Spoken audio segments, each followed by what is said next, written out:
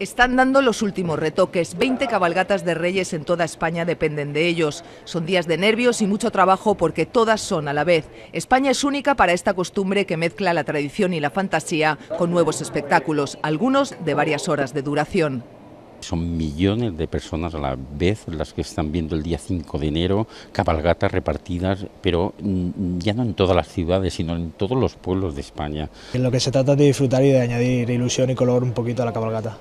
Eres un gorila, pero es un gorila bueno. Son las últimas instrucciones, los últimos ensayos, coreografías y maquillajes antes de la gran noche de Reyes. Su gran noche, la noche de figuras gigantes articuladas y móviles como el caballo real y la de aquellas que se mueven llenas de aire como Guachi. Un personaje muy emblemático de, Toro, de Torrejón de Ardoz y que todos los niños están esperando. Técnicos y artistas se afanan, quedan pocos días y mucho trabajo. Los Reyes están a punto de llegar. Voy a traer alegría y diversión, quiero que todos los niños se rían con nosotros, que lo pasen fenomenal.